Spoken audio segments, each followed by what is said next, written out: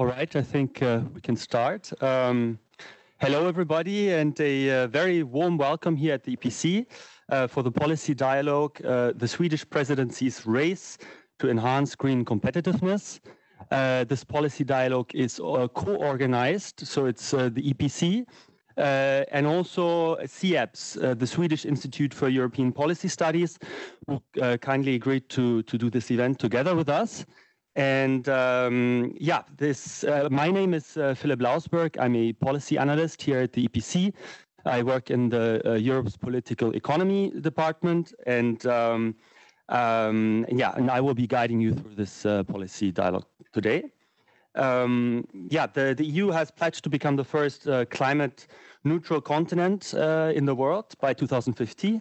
And by 2030, he wants to uh, have reduced uh, greenhouse gas emissions by at least 55% uh, compared to 1990 levels. So these are very ambitious plans. Um, but at the same time, um, you need, of course, industry to do that. And um, the EU currently is experiencing an unprecedented challenge to its competitiveness. Uh, following Russia's full-scale invasion of uh, Ukraine, energy and other input costs have uh, uh, increased disproportionately compared to other parts of the world, um, while at the same time financing costs uh, have increased in a highly inflationary environment. Um, and what's more, uh, aggressive industrial policy initiatives, especially in, in, China already, but also in the United States, um, have uh, have turned into a threat to to Europe's uh, manufacturing base and to its green transition goals. So, um, as a response to that, uh, the European Commission has uh, put forward a proposal for a green industrial plan, a Green Deal industrial plan in, in February. And in March, it has tabled uh, propositions for a Net Zero Industry Act and a Critical Raw Materials Act. It also plans uh, to table a proposal for a new sovereignty fund, which will uh, probably be out in, in, in June. Um, so uh, there's a lot uh, to discuss here, a lot of initiatives that are being uh, uh tabled at the moment. And uh, yeah, what we'll be looking at in particular today is how this Green Deal industrial plan and other initiatives can enable uh, to, to how can they develop um, yeah, uh, competitiveness and uh, sustainable uh, supply chains, manufacturing processes, and products and um, but also what is the added value of all of that? Because of course we already have uh, quite a lot of um, um, existing policies uh, and sectoral strategies such uh, uh such as repower eu uh, the current industrial strategy or the circular economy uh, action plan and um, so yeah uh, and then of course uh, looking at the swedish council presidency who has really taken this topic as one of their uh, main focus areas we would like to see uh, more in detail what what the swedes have been doing on this what they're still planning to do and um, yeah uh, what is their take on on the proposed green deal industrial plan. So um, to do so we have assembled a, a very distinguished panel uh, that I now have the pleasure to introduce to you. Um, of course, uh, uh first I will start uh, with Ambassador Torbjörn Haak, uh, who has been uh, so kind to, to join us from, from the Swedish permanent representation to the EU. Um, who will start with the keynote just in a moment. Um, then to my right, we have Carolina Vigo, who's Government Affairs Director for the Green Transformation of Industries at Siemens. Um, then we have uh, on the other end, we have uh, Mr. Joaquim Nunes de Almeida, who is Director for Mobility and Energy Intensive Industries at DG GROW at the European Commission. Um, then we have um, to, to his uh, right, we have um, uh, Ursula Woodburn, who is Program Director at the Cambridge Institute for Sustainable Leadership. And not, last but not least, uh, our partners from SIEPS have uh, sent uh, Mats Engström, uh, who is a senior advisor yeah, at the Swedish Institute for, for, for European Policy Studies. Um, I would like to now give the floor uh, to Ambassador Haak uh, to, to start uh, with a keynote speech. Thank you very much.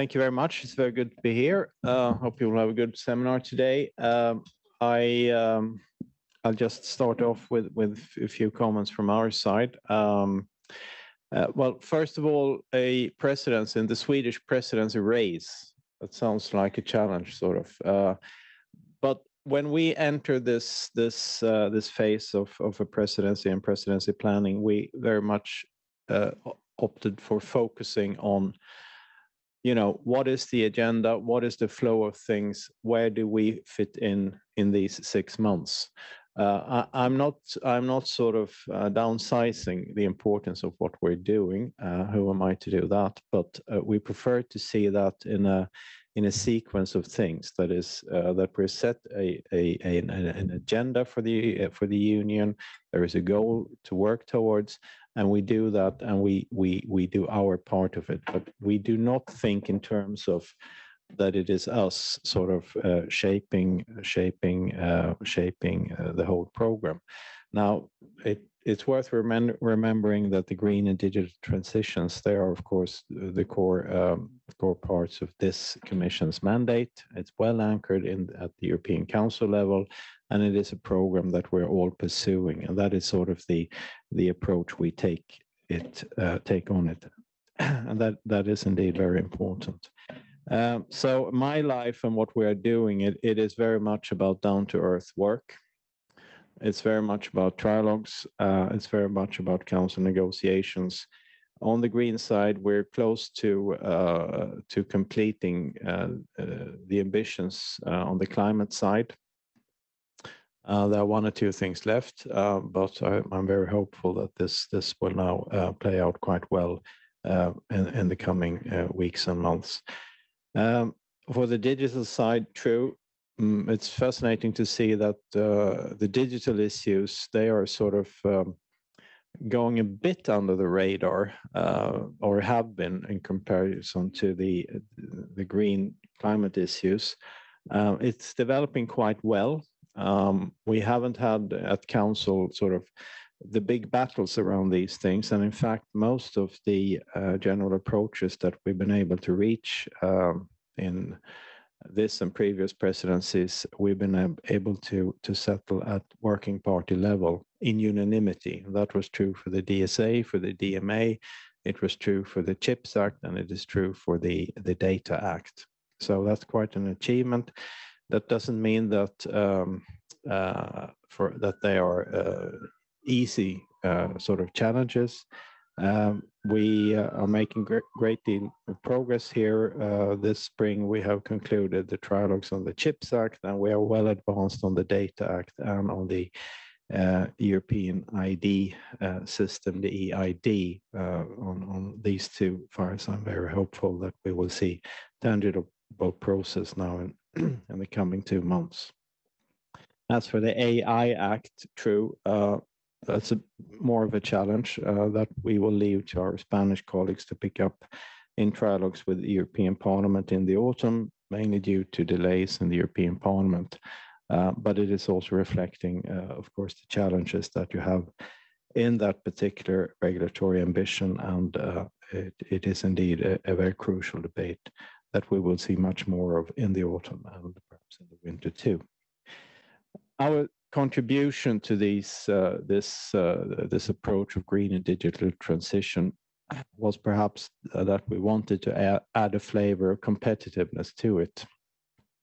Because we're convinced that uh, uh, that adapting a society developing a society taking things forward um, you can do that based on competitiveness only uh, so we wanted to to set that uh, perspective, uh, reset that perspective, perhaps a bit on the agenda of of the EU, and uh, the European Council also concluded uh, in very important respects on that now in March, and we will see more of that in June.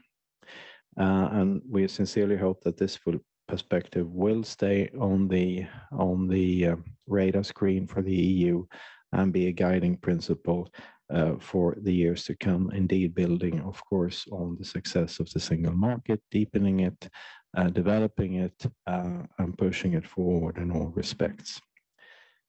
So, uh, what uh, what challenges are there here when looking ahead? And I think this this will be very interesting for you to dig into here uh, today.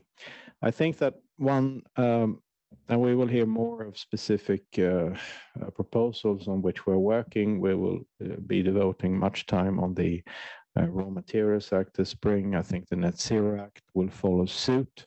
But I think that will be more a focus of our Spanish colleagues, simply because we need to, plan our work in a way that, that makes it possible to cope with the challenges.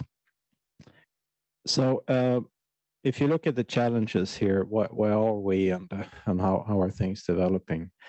I think that so far, looking at the green transition, we uh, saw as an effect of the um, uh, the Russian war in Ukraine, sort of a rounding up along these principles, uh, pushing forward, of course, the the move out of fossil fuel dependency, and thereby sort of igniting uh, the the power of the green transition, and that is a very powerful powerful uh, development. However, it is also true that um, as we're now approaching sort of the implementation phase of all, what we've done in this in this um, area, you can also see focus shifting. You can see member states asking themselves, okay, how are we going to cope with this? And now it becomes much more of a reality on the ground in the political life uh, at national level. And that reflects a bit also on, on, on, uh, uh, on um, the files that we've been working on lately, where I see uh, more challenges of rallying support for, for the outcome actually. And that perhaps indicates that what we're doing, it is, it is not to be taken for granted. This is something we you know you need to work on uh, continuously uh, with persistence and and and uh, keeping a very clear eye on what is the goal, what do we want to achieve? What are the political difficulties that we need to uh, to to go through in order to to keep that perspective?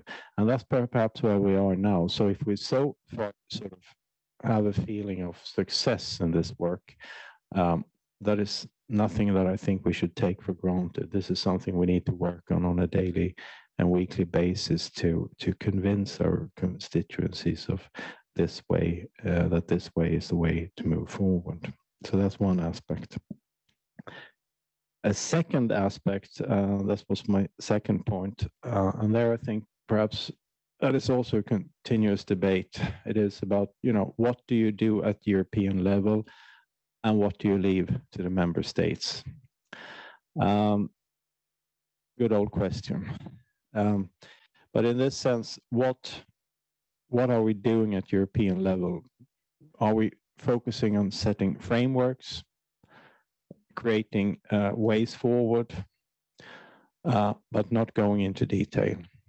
Or are we looking for sort of quick fixes uh, with the attempt, uh, with the, the intention of those then sort of solving the main uh, challenges that we have? But I think at the moment we're, we're trying to do both there is a slight tendency to sort of look at the, the big sexy things, the Raw Materials Act, the Net Zero Act, uh, initiatives of that kind. Um, we have uh, a continuous debate on uh, planning permits in the member states. Fine. You have EU regulations there coming into play, which are of, of great importance and, and which have uh, direct consequences for member states at national level. But this is also very much about uh, seeing to that your own administration is in good shape, is handling issues in a, in a workable way, uh, and is sim simply keeping re reasonable deadlines, which you necessarily would have to set at national level. And there the balance perhaps is not obvious. Uh, and that is perhaps one issue that we would need to devote continued um, uh, attention to, asking ourselves, you know, what what what is uh, the kind of regulations that uh, conceivably will have uh, a good effect, and uh, what uh,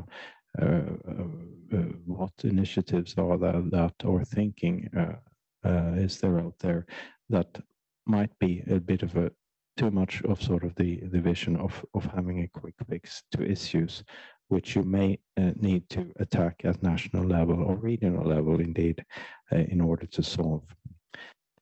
Um, so all in all, what, we believe in and what we think uh, we, what what would sort of be our contribution to these uh, this uh, and our perspective on, on on these themes that we're discussing today? Well it is very much about keeping the vision of uh, an economy that is adaptable that is developing uh, that is not locking itself into into old solutions. There was um, a uh, quite a character in Swedish public life, uh, once famously stated, and he was a social democratic politician. He famously stated that it's it's not um, the new technology I'm afraid of; it's the old one. Uh, and that is sort of the perspective I think that you, you often hear from us in Scandinavia, and uh, something that we represent uh, uh with with strong strong convictions. Um, we think we need to do more research and development. Um, and that is indeed also a task for the European Union. We need to think about our skills uh, and um, labor um, availability. I, I, remember I did migration issues here uh, around the first Swedish presidency in 2001. And much of the discussion you now have on shortages in, in the labor sector, we saw coming already then. But uh, addressing them in, in legal terms at, uh, or practical terms at the EU level uh, was as difficult then as it is perhaps uh, uh, as it is perhaps now as well. So these are these are things we we we we need to to think of about and, and keep a clear focus on. We're also convinced that there are a number of uh, infrastructural issues which could be should be addressed at European level.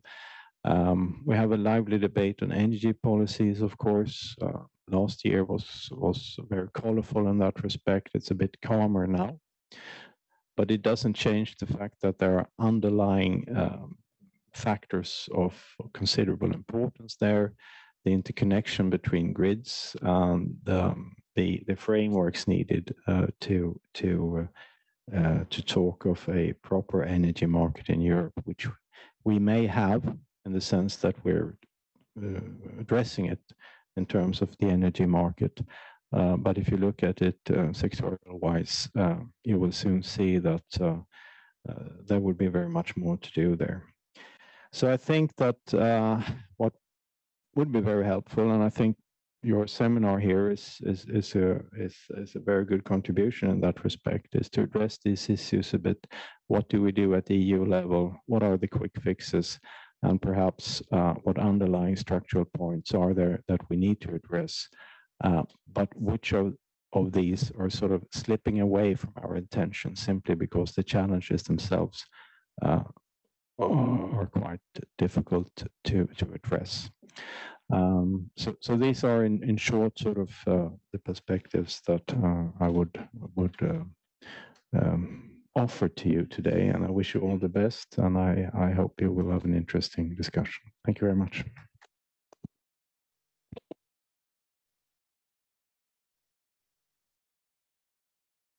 Yeah, thank you very much, Ambassador Haak, for these uh, insights into yeah, the, the Swedish point of view, which of course is very important uh, since uh, you are holding uh, the council presidency. And I think, uh, yeah, the topic of competitiveness has been uh, something that Sweden has been caring about for a long time already.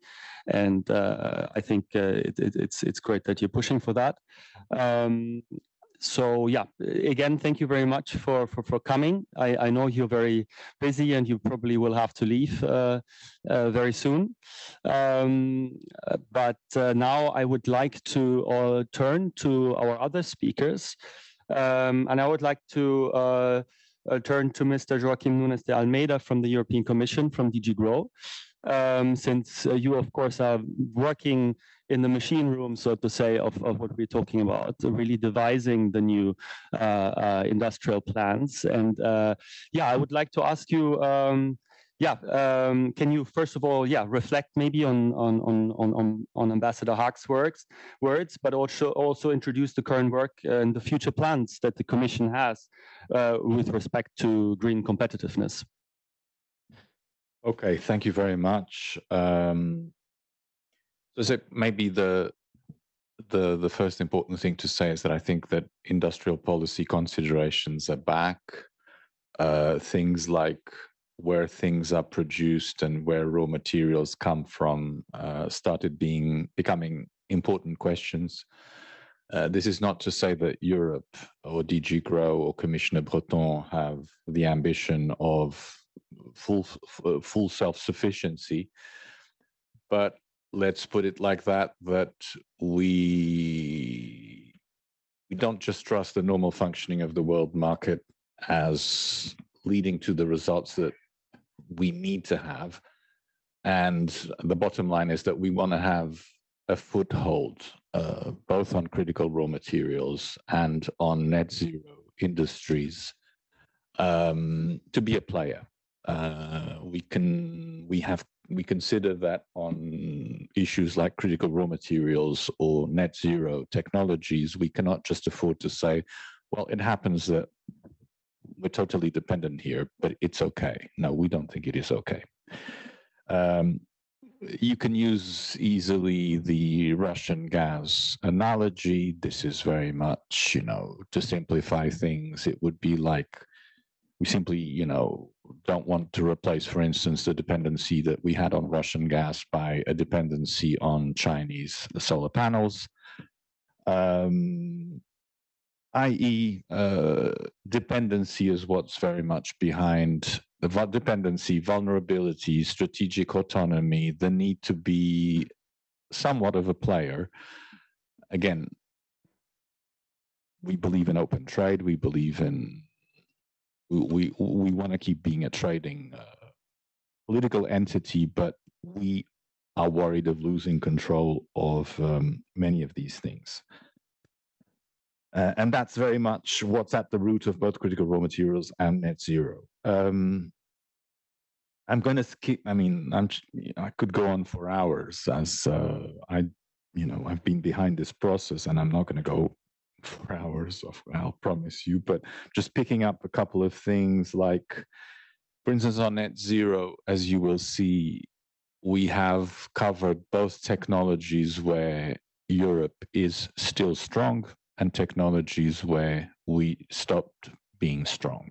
So on the first, you would have like electrolyzers for green hydrogen or for hydrogen, uh, or wind turbines. We're still quite strong there, but the positions are eroding quite fast. So we, we, need to both act on industries where we are still strong and on industry on industries that we are not uh, strong at all like um, solar PVs or many of the critical uh, raw materials. On exactly, and I mean, and behind this, you often, I mean, not always, but you often find you often reach the conclusion that you're in the hands of China. Uh, not always, but uh, and if it's not China, it, you know, to be somewhat diplomatic, but okay. Uh, overall, we're not depend. You know, you could say, well, we're fully dependent on Australia and Canada. It's a bit more complicated than that. I mean, Australia and Canada can play a role, but we're not fully. The situation is not that the alternative of our self-sufficiency is that we would be fully in, uh, dependent on Canada and Australia. Um, We've also, I've also noticed the importance of having fixed targets, both on critical raw materials and on net zero. It has captured a lot of the uh, attention. So on net zero, we've got 40% uh, self-sufficiency target for all the technologies covered.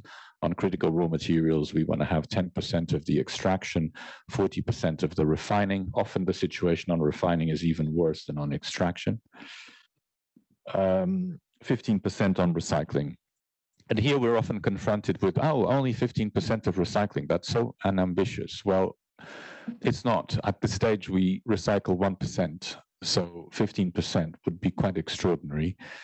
Um, and the reality is that there's not yet much to recycle anything from because we're talking about mostly lines of new products. I mean, the solar panels, the so the the the, the wind turbines, the electric vehicle batteries that will end their life in 10, 15, 20 years. So that will be the moment where you can probably recycle big time. But now uh, there's only as much as the reality of things. Uh, is that, especially on critical raw materials, we will have to deal with enormous amounts of more extraction, both here and outside of Europe, if we are to achieve uh, the objectives of the Green Deal while keeping our prosperity.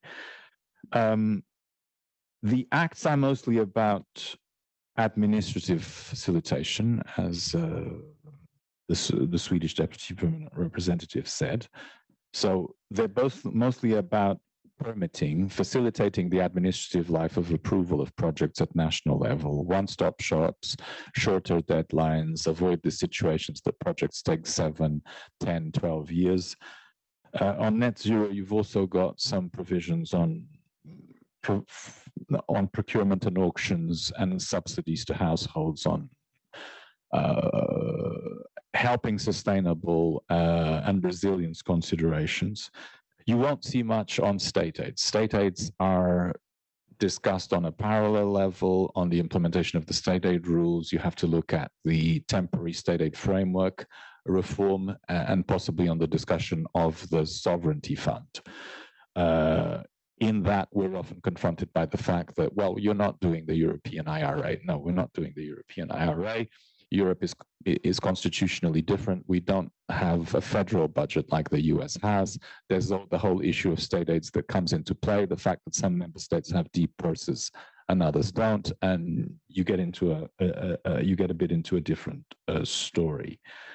Um, and the discussion on this, you know, so on the needs assessment document that accompanies the Net Zero Industry Act, you talk about a need of 19 billion euro uh, investment for which it's estimated that we have eight, nine billion euro now in the EU budget, which means that there is a shortfall if we are to achieve our ambitions in the EU budget, of course. Last word about, especially on critical raw materials, just to remind you that we're talking not just about re bringing the industry back to Europe, but also of diversifying our sources of supply. So we need a much more active, intelligent uh, Team Europe like uh, diplomacy with the raw materials diplomacy with the rest of the world to diversify our sources of supply. I hope I didn't speak too much. Sorry. Thank you very much. Um,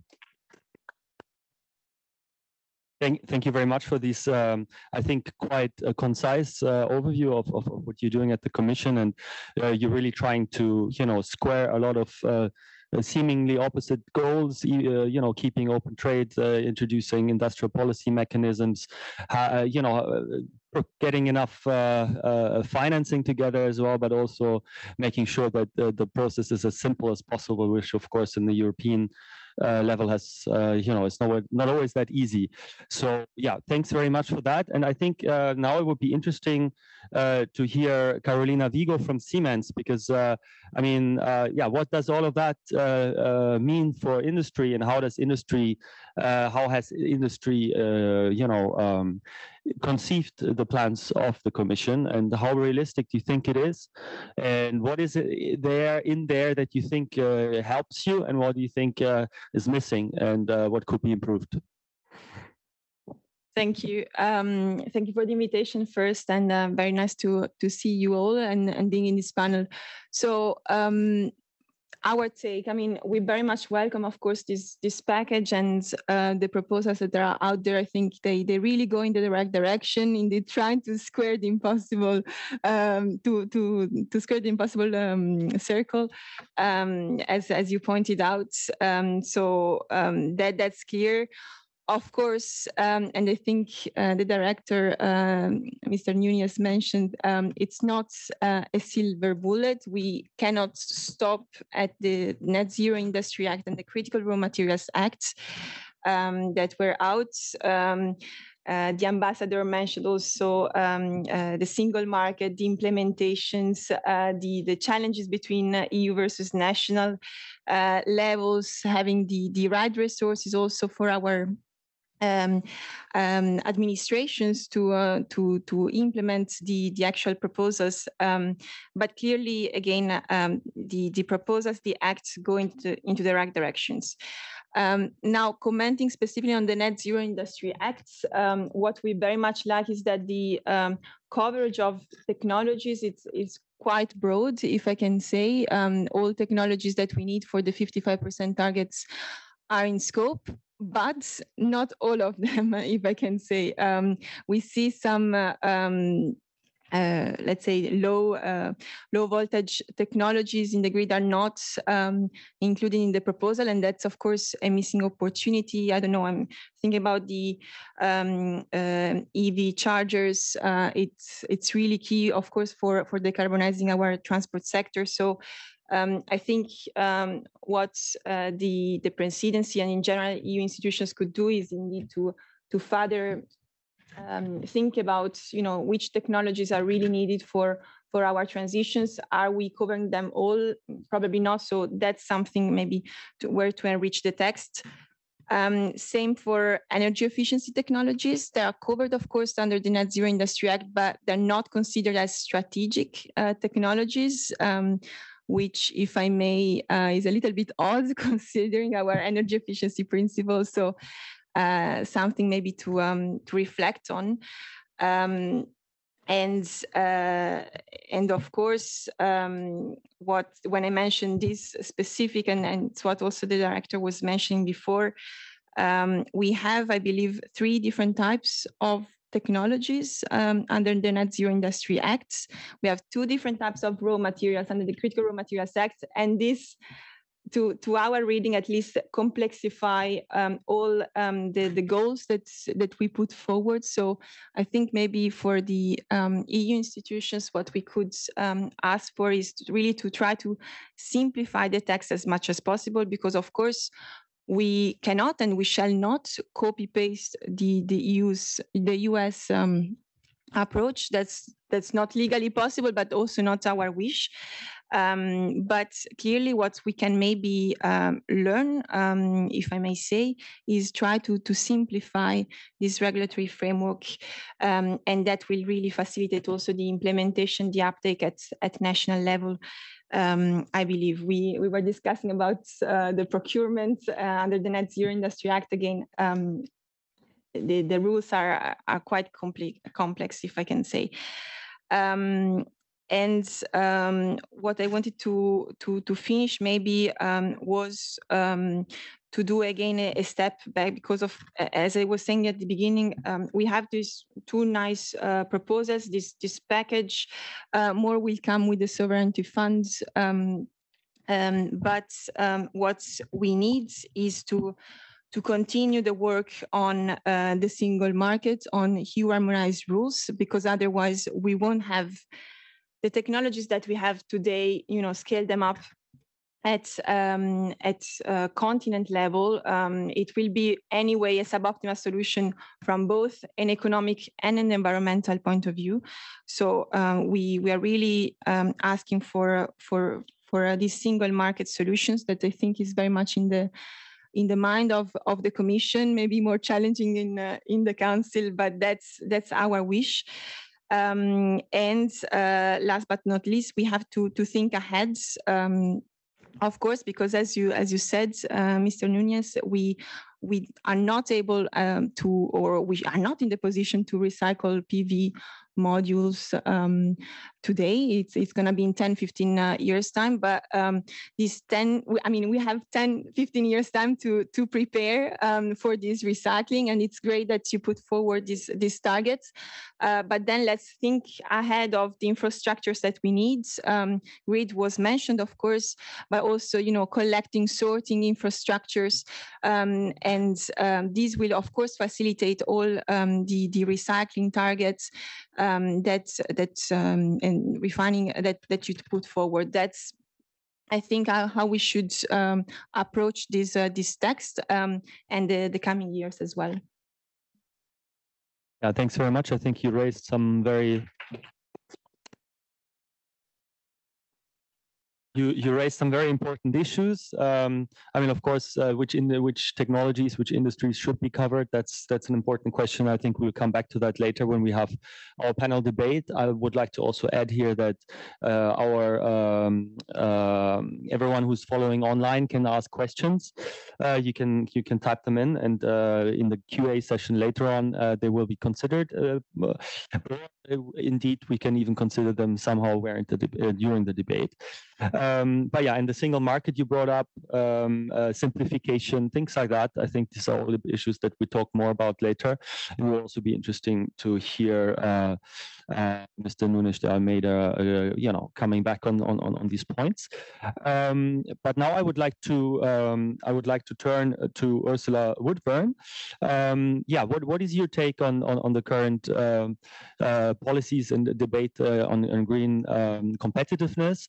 Um, do you think uh, that enough is done also on the sustainability side? Do you think competitiveness comes at the cost uh, sometimes of uh, sustainability? And uh, yeah, well, you, you, your take on, on this debate will be interesting. Thank you very much. Thank you, Philipp, and great to be here. So, indeed, I think we could dig in a little bit on this concept of, of green competitiveness, because, you know, we heard clearly from the ambassador that they had the Swedish belief in, in competitiveness as a, as a concept. I think it's important to remember that uh, the Green Deal, or at the heart of the Green Deal, it is founded on a concept of competitive sustainability. So the idea that the uh, the, the race towards climate neutrality and so on is the EU's uh, growth strategy and so forth, as Ursula von der Leyen has, has said on many times, is based upon on, the, on this idea of competitive sustainability, right? And this is also one of the EU's strengths. I mean, at CISL, we did an analysis um, looking at the different indicators that makes up competitive sustainability. Um, so it looks at the metrics, it looks at environmental conditions, social and governance, as well as questions around industry, and business and so forth. And I think clearly what it's shown is that this is also at the heart of the EU's resilience to change, right? So, how has the EU responded to the pandemic, to the war in Ukraine, to other issues like this? It's responded by leaning on the Green Deal, leaning on the real push for green technologies and a, and a move forwards, right? And if you really address this and, and look into this, um, our analysis also shows a bit where the EU is, has many strengths and then maybe where there are some gaps. So I think clearly the single market and also long term regulatory stability to some extent, or at least a view as to what we are trying to achieve, are really key EU goals and key EU strengths. Because I think you know for businesses and for industry if you know where you're supposed to get to then you you can perhaps find a pathway towards that. Um, i think we were all a little concerned by recent debates about some of the for example files on the fit for 55 and others where there was a bit of shakiness there and i don't think that's healthy either way. We, we need to go for it. We need to decide where we need to be and and uh, set set those wheels in motion. And um, in terms of gaps, what you can really see is the EU is a front runner in many technologies. Sometimes we fail to sort of really roll out and scale them up. We have a lot of uh, innovation. Um, we have strong um, education systems and so forth, but um, we really need to see how we drive that. Um, and I think you know these are really key key elements. Um, when we look at what has been proposed now from the Commission, I think there's some really um, I mean, as Carolina said, I think it's a really strong step forward. And when it comes to the Net Zero Industry Act and so forth, um, I think when we looked at it, we wondered a little bit because we thought about what does a real industry transformation mean? Okay, it's not just the energy supply chains, it's not just the response to the energy supply technologies that are being mentioned in the IRA. The EU has other strengths as well. For example, on energy efficiency, it's a real leader in a number of areas, for example. So, how do we strengthen that? Um, we also considered that it might be worth looking at the value chains a little more, right? Because it's not just about the electrolyzers, but the steel for the for the windmills and so forth. So um, there's some different questions like that that I think do need to be surfaced as as we move forward, and um, broadly that we should not leave like let go of the focus on what we're trying to achieve. What are we trying to achieve? We're trying to achieve uh, climate neutrality. We're trying to achieve a pros- prosperous EU, but also with environmental and social and other goals, and to see really how best we can achieve that um, in indeed a much more interventionist global world. Um, we are competing with uh, very strong economies which are really intervening in a very specific way, and and it's and the sort of systems that perhaps we are used to working with at the EU level, the global governance systems are shifting, and it may be different types of partnerships and different types of um, ways forward that we may end up working with to drive forward green technologies and drive forward um, our response to the climate emergency and the many other crises that we're dealing with at the moment. So, some initial thoughts. Yeah, thanks very much. I think you really summed up very nicely the complex issue that's at stake here, meaning sustainability and how to square it with uh, with competitiveness and the, the very ambitious goals that we have with uh, respect to climate change and then the competitive angle that has really escalated in the last half year or so. And I think uh, there's a great opportunity, in fact, there because never have been have the goals of you know sustainability and uh, competitiveness or industry being so closely al- aligned. I think, but of course, it it, it holds a lot of challenges, and uh, these challenges, of course, as you already said, it's also about you know partnerships. It's about the trade environment that is becoming much less liberal, um, and I think uh, that's also uh, uh, the point where I'm now turning to Mats because he uh, has been working on that a lot. And I think the, the whole issue of, uh, you know, the geopolitical environment that this uh, industrial policy, green industrial policy is set in, I think it's it's crucial to, for our understanding of how we can go forward. Um, and uh, yeah, I, I would like to, to, to ask you if you can tell us a little bit about your point of view on, uh, yeah, um, uh, the constraints, but also the opportunities that this more um, competitive and maybe maybe some in some ways even more hostile trade environment and, and geopolitical environment offers to us. Thank you, Philipp, and thank you for uh, co-organizing the cooperation we have on, on, doing this. But that's a big topic, and I will not talk too much in the introduction because I think we will get back to many issues later. But maybe I should start where, where Director Nunes ended, actually. I think you talked about an develop an intelligent uh, Team Europe uh, critical um, uh, raw material strategy that is more developed than is currently being done. I think that is uh, clear from the Commission statements and also from uh, President von der Leyen's speech, actually, in this room here at EPC on China, that there is a need to de-risk these supply chains. And I think the sensitivities are, are rather well known. I don't dive into that here. But what I think is important in that perspective to start there is the uh, recognition in Europe that we are not the strong global power that perhaps some of us still feel that we are. We are a weaker global power than we used to be, and that is also reflected in our relations to other parts of the world. We can't really tell uh, these other countries that we want to have as alternatives to China what to do. So, so uh, partnerships really have to be real partnerships. And, and I know DG GROW is recognizing that, for example, in the critical raw material partnerships that are now being developed. But this also uh, encompasses some hard choices, I think. So at SIEPS, we have done several interviews with some of these countries uh, uh, in Africa, for example, in, in Asia. And, and you really need to recognize their need for economic development, for industrial development, for refining their raw materials, for example. and, and that will also necessitate a, a, Team Europe approach, as you rightly said, because if European countries compete on the best contract in a short-term way, uh, we will get played out against each other. And many have noted and analyzed that China's offer in Africa, for example, is not as good as it maybe seemed. If you look at Zambia, for example, it wasn't that really good for Zambia. Uh, but it's attractive still because they talk the same language. They have the money, quick money. They have package deals. They also uh, come now and talk about economic development, about research, cooperation institutes, refining. Uh, one of them was recently in in one of the West African countries and talked about getting more uh, benefits from, from the iron ore there. So, so this has to be countered by a real um, uh, offer, a real offer about cooperation. And there I think uh, the EU has to scale up the, the, resources used and the coherence. And we can discuss more about that because that's also some inherent conflicts, perhaps. Uh, probably there's a need for more refining of raw materials, both in Europe and in Africa. But if we don't kind of explain that and, and put the money there in Africa, it will be creating a misperception, I think.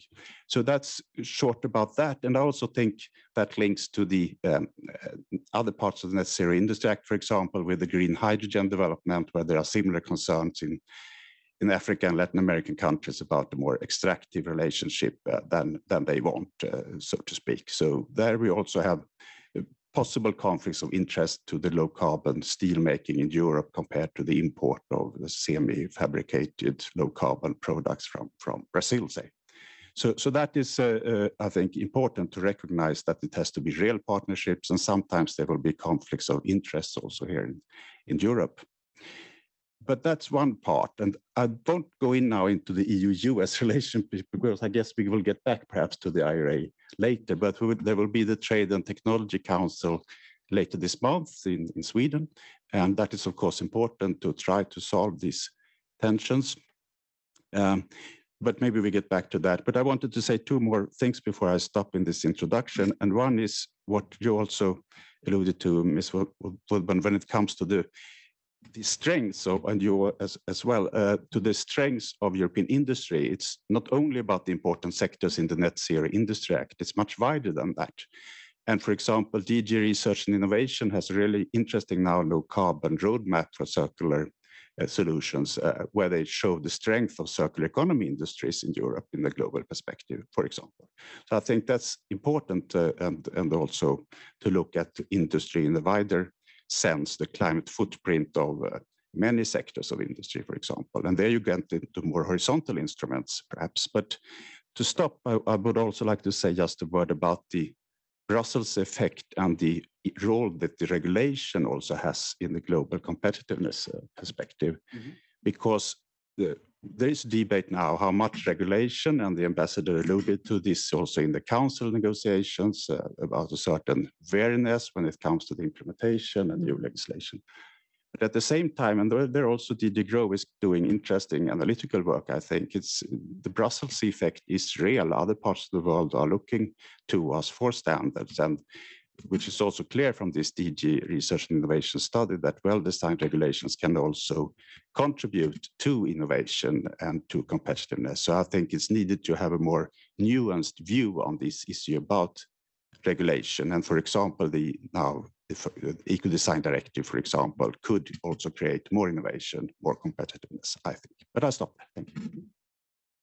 Yeah, thank you. You raised a lot of very interesting topics here that I think are worth uh, uh, debating. And uh, since now we are uh, entering the open panel debate, um, um, yeah, I, I, would like to actually come back to the IRA and uh, basically the international uh, competition in, in, in industrial policy, because of course that's something that's been making the headlines recently, and we keep seeing European companies who start to build their industrial capacities in the United States, or they move away. The most recent example being Viessmann, a German heating specialist that uh, is producing heat pumps, and uh, the United States, uh, a, a, US uh, uh, um, air conditioning uh, company, basically bought the entire um, uh, heat pumps uh, part and because they had the money. And you, if you look at uh, yeah European uh, funding especially when it comes to, to equity funding then uh, there is a, is a huge gap when it comes to financing. And I think the main reason why we see uh, you know uh, companies uh, relocating it's uh, first of all that scale up gap that we've been talking about but of course also the direct very direct and automatic character that the IRA uh, subsidies have. So my question here would be into the round, and everyone can pick this up, uh, but um, how concretely would you say, or what has to be done to really you know make sure that we don't deindustrialize because of course that is a danger with uh, this uh, heightened industrial policy uh, um, uh, efforts in especially in the US but also in China and and where do you see concrete um, you know concrete uh, elements of, of, of, improvement? And of course uh, we've heard from the commission that you know the, the plans there on paper they're great especially when it comes to the big targets of 40 percent in, in uh, industry but also uh, in, in refinement of raw materials. Um, but yeah how do you how do you how, how can you counter this sort of automaticity? How you can counter the financial power that some of these competitors have. So yeah, whoever would like to take over. Or maybe uh, if you would like to. I can, well, I think that to start with, um, I mean, two things. So on, on the one hand, not all of these projects are market failures in the state aid sense of the word. For instance, a lot of mining extraction or refining projects in Europe don't happen as a result of administrative red tape, NIMBYism, local opposition. I mean, if you see the quantities of raw materials that are needed for the next 10, 15, 20 years, the moment you extract them, you sell them well. I mean, the demand is so high that there's not a profitability. I mean, in some areas you might have it, but I'm just to say that in many areas the permitting is indeed quite key. Second, yes, we do not have the capacity to do a system like the US, and I'm not sure that the Commission would be happy to do exactly the same as the US. But I mean, we don't have a federal budget. We don't have the possibility of granting tax exemptions without going through the unanimity.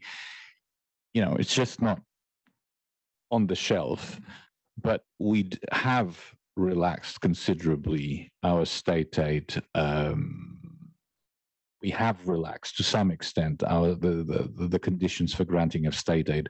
We have accepted the concept of matching aid, although varying according to the poverty of the country. So, but still, at the end of the day, rich countries can subsidize projects simply because there's a similar project in China or the US that has been subsidized, which is a big step.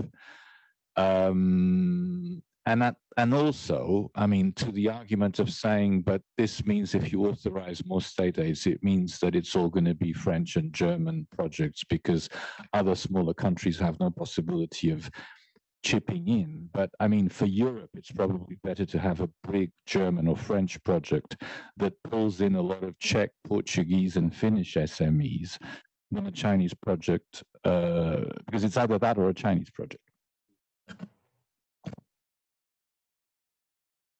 Yeah, very very interesting point there on the state aid part, because of course that's an argument you often don't hear that, you know, it's it's just the French and the Germans profiting, but of course their their investments have a more immediate effect on on the rest of Europe than let's say China or United States. Um, but of course, at the same time, uh, the ideal solution would, of course, be more uh, European funding. I take it, and um, uh, it will be very interesting to see what uh, the European Sovereignty Fund proposition will look like.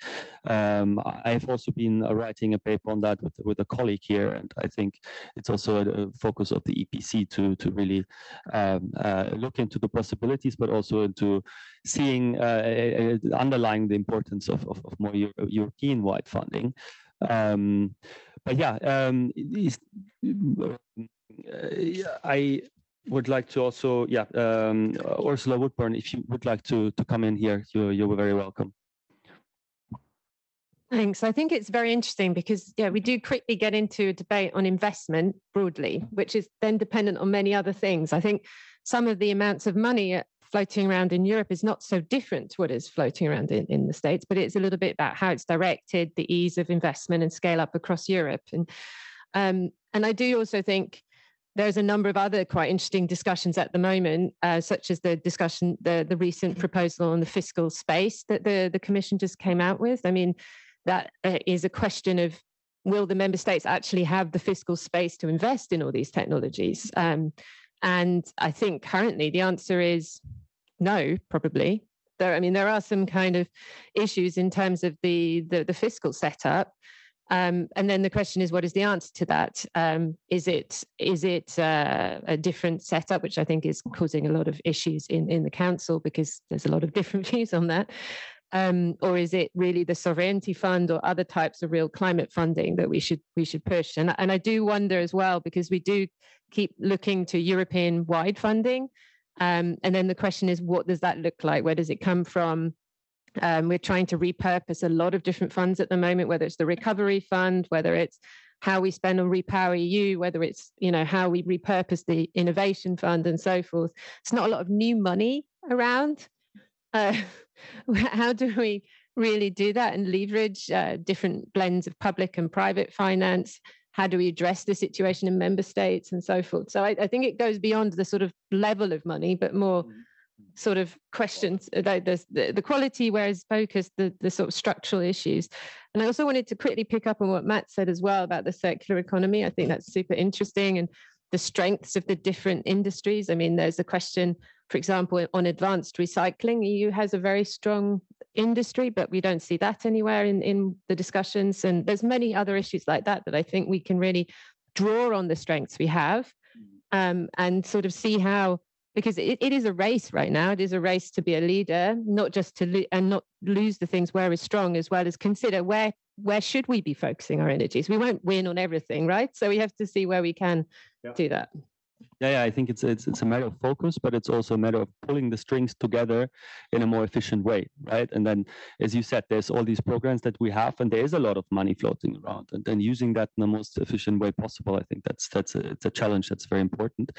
Um, uh, I would would also be interesting to hear from um, from Carolina. Um, you know, how does industry, how does Siemens, for example, how do you um, experience uh, these pressures that come? Uh, you know, maybe the the attraction that U.S uh, subsidies have on, on, on your business, and how do you uh, would, would you say that the European programs that are available, how do they compare? How attractive they are in comparison? And and and yeah, well, what is uh, what is the thinking process in in in, in the upper echelons of of, of, of Siemens management uh, on on how do they see the future of, of, of Europe as a as a place to to do industry and compared to to to other parts of the world? Yeah, tough question. Um, no, I mean, um, Siemens is a multinational company. We're present in uh, 190 uh, countries, so um, the the presence, you know, is is broad. But for sure, Europe will remain our uh, core, if I can say, um, business in terms of you know um, uh, manufacturing sites, but also um, looking at the, also our revenues. I think our customers are, are very much based in, in Europe and, and so will continue also for for the long term. Um, now, uh, yeah, um, the I think the the beauty I think we we can use these words um, of the U.S. IRA um, is not much about the the amount. I, I very much agree with you. Is is not that compared to to the EU. Uh, but rather its simplicity. Um, it's uh, it's really easy, you know, to to get um, the the support there. Um, again, as uh, the director was saying, uh, the you know the structure is very different as well as well um, so the, there are reasons uh, but this uh, should not you know make us uh, shy um, and then we should again get be inspired i think from um, from this framework and see um, what could work. Um, but then there is much more to to be done. It's uh, it's not just um, you know uh, public public funds. It's also private funds. And here I have in mind, of course, um, taxonomy, which is a great tool to to facilitate the the dialogue between um, the the the real economy, let's say, and and the investors. And um, and here uh, our take is um, you know the, the commission is working days and night to to uh, expand this framework which is great. Um, maybe we should think a little bit more on how to implement it because um, some of the criteria we see are simply not working in practice. Um, um, again in terms of how to to comply with uh, not the, the ambition i'm talking about Um, so there is, yes, of course, a public side, but also a private. And then ultimately, and this is more also to attract investments from, from outside, is to make sure we have uh, a good regulatory framework. Um, I, I was saying uh, the single, I was talking about the single market before, and I will re-say it because it's really what allows us to, to scale up the solutions um, at, at EU level and not to have this jeopardized system which, uh, which we have now. Uh, but it's also about you know coherent uh, rules. Um, um, fiscal policies, of course, that are dealt at, at national level, but here, of course, to make sure that you know we all go towards the right, uh, to the same directions, is uh, is also a way to pull further resources. Um, so yeah, there is a lot on the menu. Let's say that we could pick. Yeah, thanks. Maybe something like concrete, where we would say there's uh, one or two things or three things where you'd say concretely this you think should be changed in, in, in an industry point of view, from an industry or a Siemens point of view? Well, concretely, one thing um, we noticed is that, and it was also, I think, noticed from from the ambassador speech, um, we see digital and green completely, you know, um, divided. While we should them uh, put them together. I think the, the, Commission at the beginning, especially, was was emphasizing this this digital twin. Um, and now it seems, yeah, uh, not lost in translation, but um, yeah, it's less. Um, I would say less. Uh, it's less visible in in the actual regulatory terms, and that's a pity because that also accelerates um, all our solutions for I don't know uh, microgrid, uh, renewables, we yes it's about hardware but it's also about software. So that's i would say um, one uh, first solutions we see. Then going back to to circular economy and again my my mantra on single markets um, we see um, the the commission's excellent approach to to push for regulate for regulation instruments. Um, but ultimately um, some uh, yeah some some member states some actors uh, let's say push for more um, national flexibilities. And that's a minus again because um, I mean we were talking about before um, you know recycling um, you need to have a, an internal market of, of secondary materials to uh, to reach our um, circular targets. And and if we keep uh, maintaining the, the national flexibilities, we we won't make it simply. Um, and I'm not even talking about the economic costs, but um, it's uh, I think it's a given. So these are uh, some concrete solutions. I hope um, mm-hmm. it answers. Yeah, thank you. I think uh, the single market aspect and the regulatory aspect uh, that you really stress here is very important. And that goes also back to what Mats said, I think, about the regulatory superpower, this idea of having uh, not only you know these standards in Europe that facilitate business making, but you can also actually change how other people uh, do produce and, and, and do business abroad if they uh, if they are uh, if they adopt those. So. Uh, but yeah, if, if, if Mats, if you would like to come in uh, on on what's just been said, and maybe on that as well. Yeah, so the, I think there have been many uh, good things said. so just on the financing, I think um, it, one thought as an analyst that will be interesting is, of course, looking also a few years ahead. We have an American presidential election. Mm -hmm. What will happen now in the Trade and Technology Council? Maybe the EU needs to do a deal rather quickly, even if it's not the optimal one, or maybe not. I don't know how they are thinking about this, the, the negotiators, but but then also what you referred to, Philipp, where you are doing excellent work, is really what how does this reflect in the review of the multi-annual financial framework, for example, that the Commission is now working on? Now we have this kind of necessary immediate reactions to the IRA, but if we want a more long-term financing, how should it look? And, and uh, you have written about that. So I just think that is really important to, to not only now to react to the IRA, but to look further and then also look wider at European industry as we have been discussing. And as you, you just saying, uh, some years ago, MIT did a, in Boston did a study about what can we learn from Europe on industrial competitiveness? And what they found, this big team, was that for example, southern Germany, it's an ecosystem. It's so much, it's so many things. It's the skills level, it's uh, mm. the network of chambers of commerce helping each other, it's uh, connections, it's there are so many things and good research institutes, the Fraunhofer Institutes, but there are so many things. And I think one should also look a little wider now at the, the key performance indicators in the competitiveness strategy. I don't know if you, some probably some have read this uh, commission communication that was under for the March European Council. I think that's a rather well-balanced set of indicators on competitiveness in a wide range, also going into skills, going into R&D, but also energy costs and other things. So, so I think it's important to have this kind of wider angle where you also invest in, in people, for, for example. So that is also an important part of this discussion. Yeah.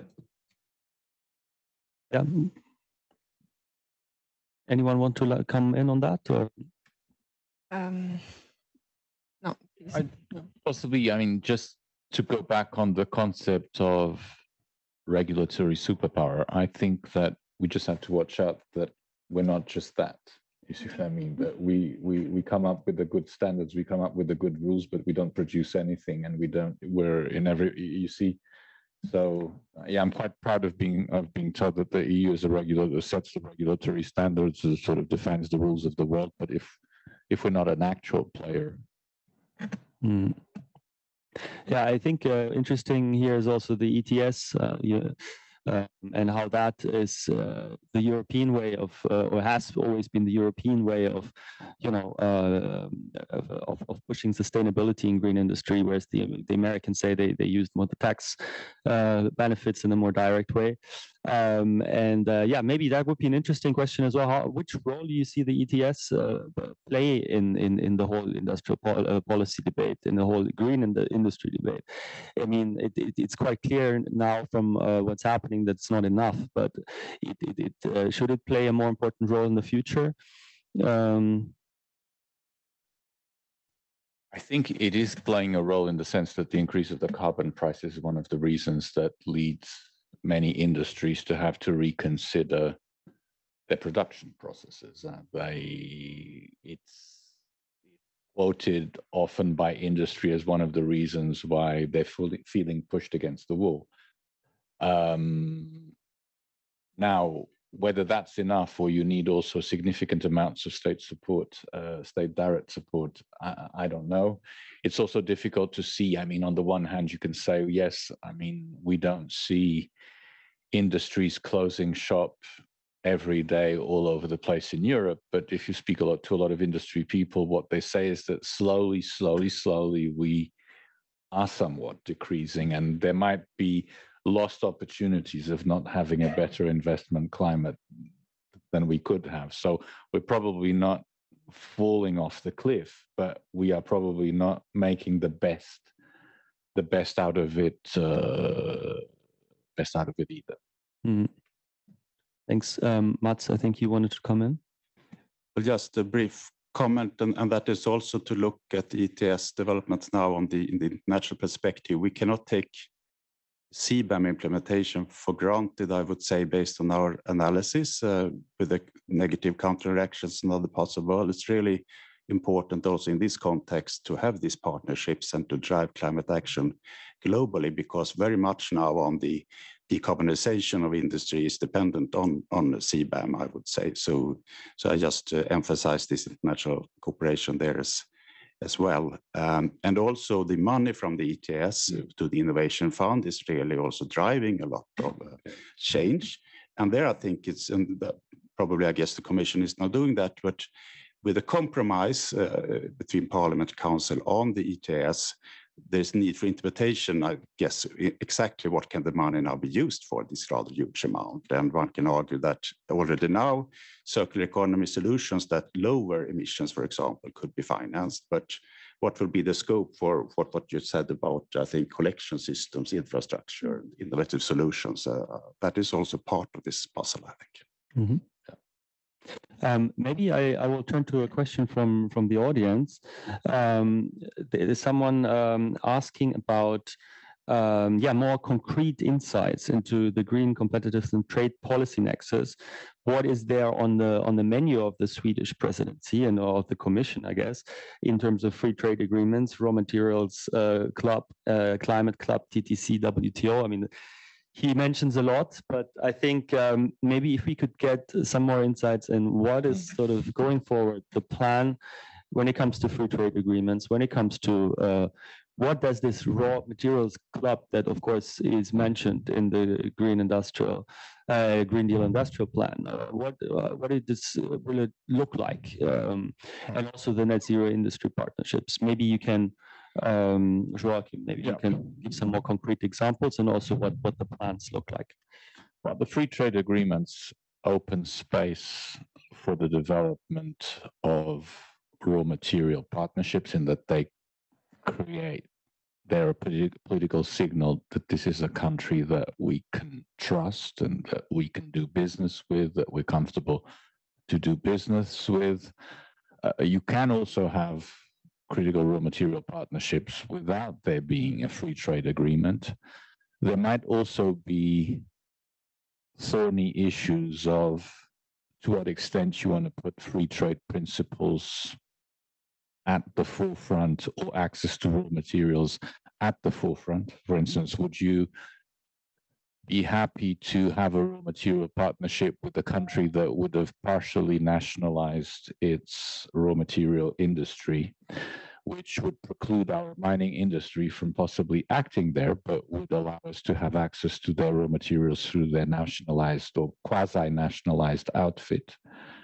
Uh, these are uncomfortable questions that we will probably have to address in the near future, uh, because as you said, I mean, most the, the, third, most third countries want to develop local industries as a result of our interest in raw materials. The thing that they tell us all the time is you, you're not going to come here just to extract our stuff and do your industries in Europe. No, we want you to do your batteries a bit here or as much as possible here. Uh, and, you know, this is a give and take. So we don't know. And also, social, environmental, it's also difficult. I mean, if you put the bar too high, if you impose, you know, if you say, I'm only going to do partnerships on raw materials in Africa and in Latin America if the environmental standards are as good as Europe, you know, probably you'll you'll get nothing.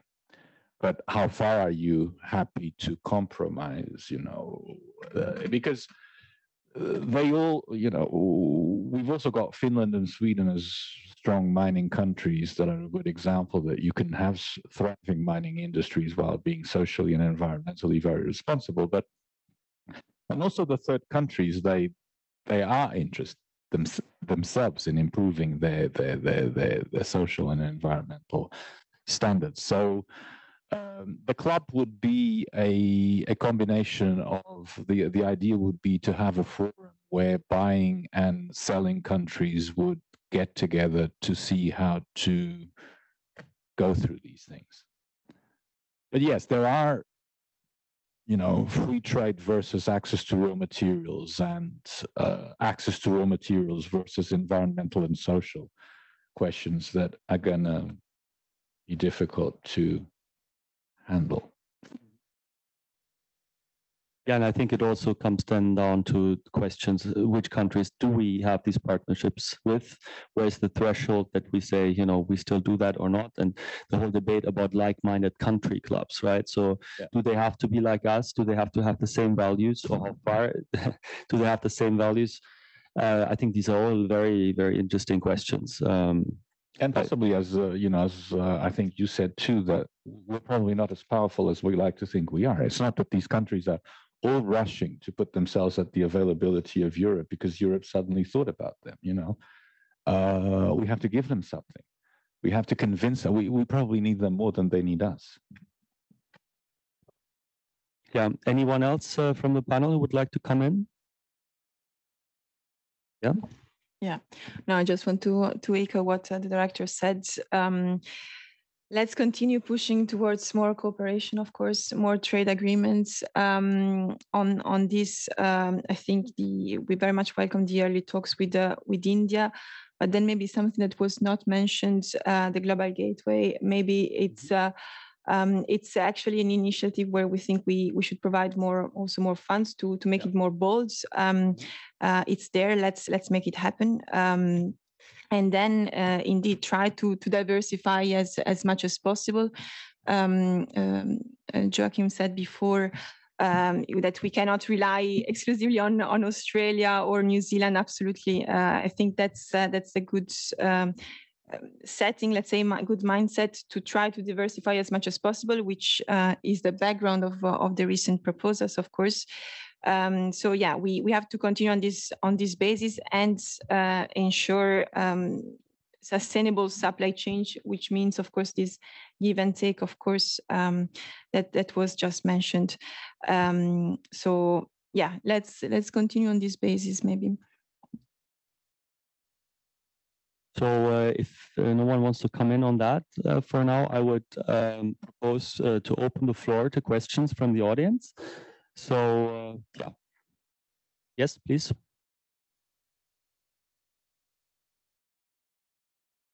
Parliamentary Research Service. Uh, thanks for this uh, event debate. Um, I want to reconnect to the subject of the environmental and social factors when uh, we make trade. Um, and my question, in fact, was uh, about how we cope uh, with the competitiveness of other big actors like United States and China on this field of uh, social rights, human rights, uh, environmental rights, when we go to buy this uh, raw material to make partnership with this country. Because I think it will not, we will not play with the same uh, rule for the game. they have other other rules, or they don't have rules for the same game uh, and I think this is will put us in a in a kind of difficulty. So how how we can react to this, and also how we can um, how we can uh, um, match uh, what we want to achieve with the with this raw material um, and what we want to achieve with other kind of regulation like the due diligence and so on. I think it's not easy, honestly. Thanks. Yeah, thanks for this uh, very important question. Uh, who would like to come in? If you want, I um, I think it's their self-interest in the sense that most of the countries you know, probably not perfect democracies, but there are some sort of electoral processes. And if you have a project that gives you good conditions to the workers, that improves the environmental sustainability of the place, that brings schools, roads, and that the whole package is seen as attractive, we have a chance of eating our competitors. Let's put it like that.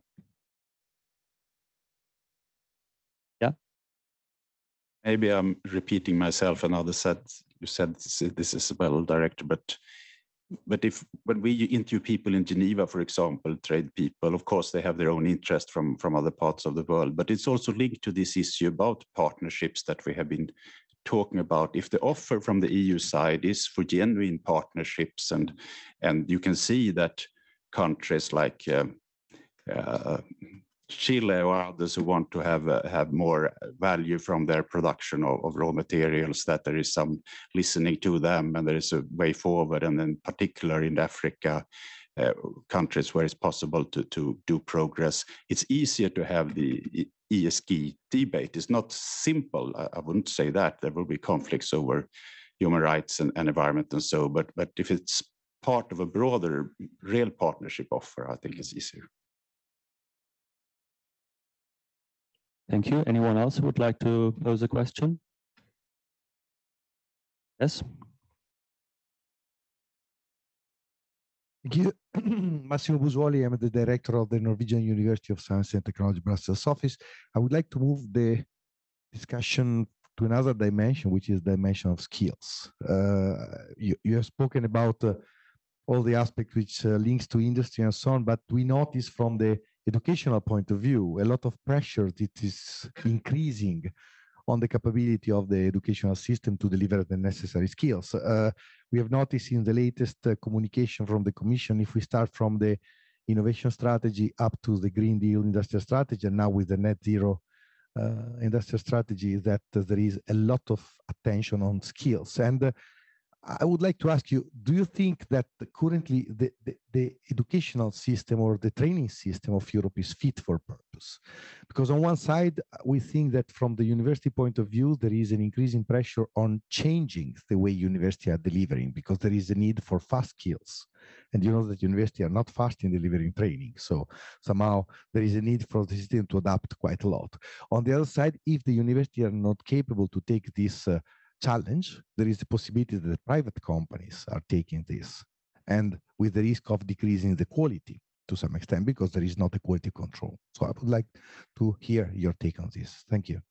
Yeah, thanks very much. Very, very interesting question. Um, who would like to take that one?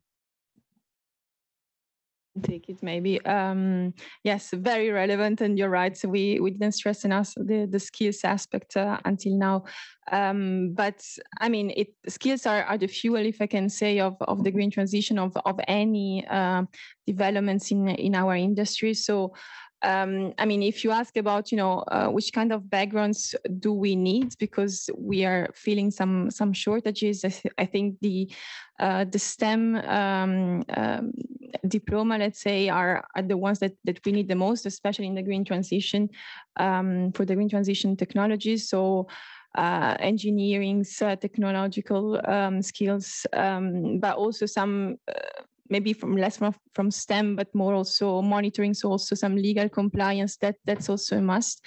But then uh, from our side, at least, this is also how we we work a lot with uh, with universities is to ensure this cooperation, uh, this ecosystem um, to happen on on the ground. We have, you know, many uh, research projects uh, with universities, many working students as well, um, joining um, Siemens, um, and uh, you, you, were mentioning, you know, that we may lose some some quality. It's true, but I guess if we ensure this in sectoral, um, intersectoral um, uh, moving uh, moves from uh, professors also looking beyond the students as such, but from professors in universities, uh, scientists in uh, in um, in companies will ensure to to have a win-win solutions for for both mm, universities and uh, and companies and will move forward of course all innovations um, that that we need. I mean we we are still quite uh, i would say leading in europe in terms of uh, clean tech uh, patents. Uh, i was looking at some data and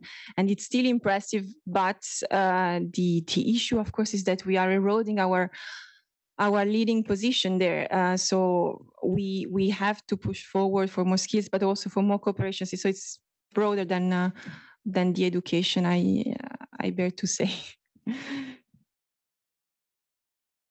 Thank you. Anyone else who would like to come in? Yes, please, Ursula.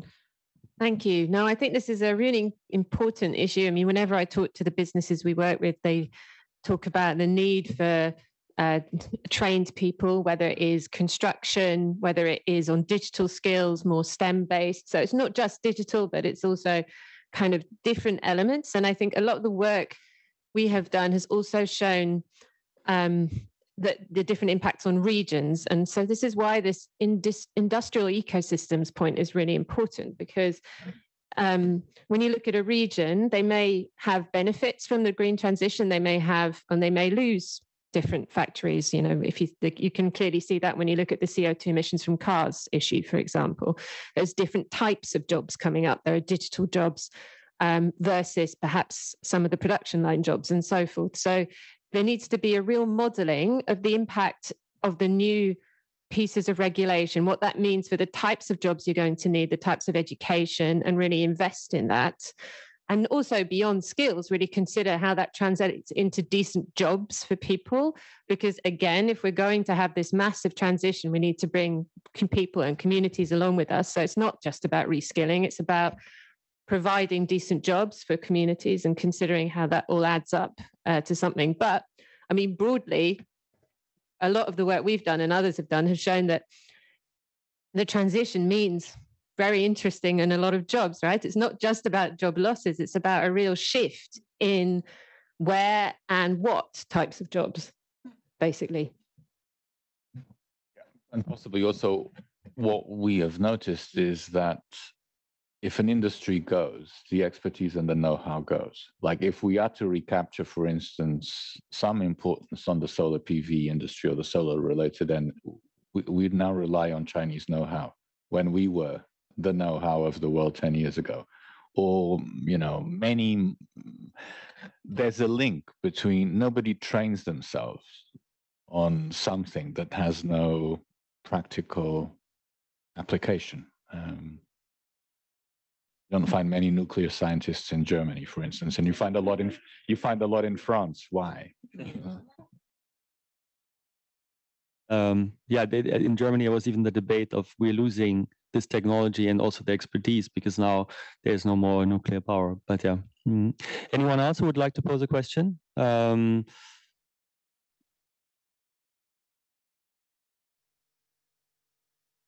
Alexandra Major from the Austrian Central Bank. Thank you very much for this uh, insightful um, discussion. Two points you've already touched upon, which I would like to ask you to maybe could further explore. The one thing was that um, you mentioned that we're still at edge uh, on the on the on the on the patents and the and the the, the know-how in Europe. Um, however, on the other side, we know that um, we're very strong on that, but we can't scale it up. So, and that ties in with uh, the financing, and which you've also touched upon already. But I'm I'm just wondering, big companies like Siemens, it's even for them, I suppose it's it's a challenge. But well, what do we do with the, the backbone of the European um, economy, that is um, um, SMEs?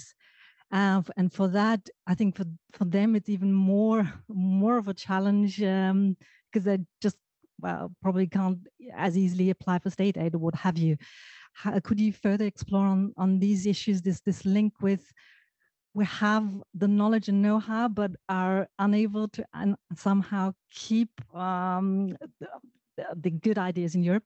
Thank you. Yeah, thanks. So the, the scaling issue and how to make business models out of ideas, basically. Yeah. Anyone who would like to respond to that? Yeah. Yeah, no, um, you're right. Of course, I, I speak on behalf of Siemens, but I mean, to to be frank, um, in our value chains, we have uh, multiple of SMEs. Of course, as you said, they are the backbone of of our economy. So um, we we always try to you know to reflect on what are the best framework conditions also for them. And that's why i mentioned again the single market at the beginning because if we ultimately are able to cope with the with 27 national uh, um, requirements i mean it's not optimal but we'll survive honestly. Uh, but when it comes to smes they won't be able to to grow and if because you started uh, your questions with uh, with innovations i mean if we look at the startups uh, okay, we don't have a definition of startups, if I'm not wrong, but um, they're, let's say, innovative SMEs, if, if we use this, this definition, at least it's artificial, but to, to, get, to say my points, um, to to make them grow in in Europe and and avoid that they go I don't know in, in the Silicon Valley or or wherever I think we really to need to stress these these ecosystems and this um, single market approach that uh, that we discussed. And uh, last but not least, we have to try to de-risk um, unbankable um, solutions projects. I think here um, um, the the many European projects and funds um, are of help, but also again uh, back to taxonomy. It's it's a way forward to ensure um, that, unbankable solutions become bankable.